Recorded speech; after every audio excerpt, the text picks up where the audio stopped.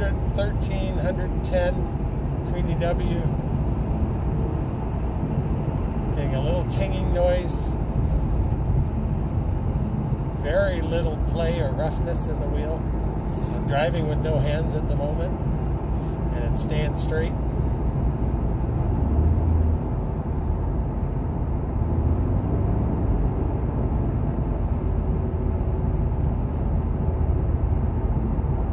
Might be a wheel bearing starting, but it's not gone. We can check it back on the rack.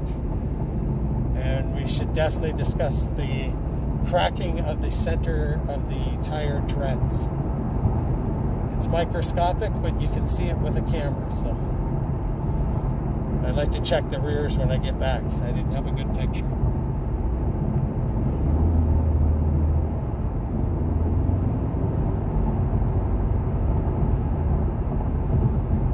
Should find out if it's a winter tire we put on, and if the noise wasn't there with the with the summer tires.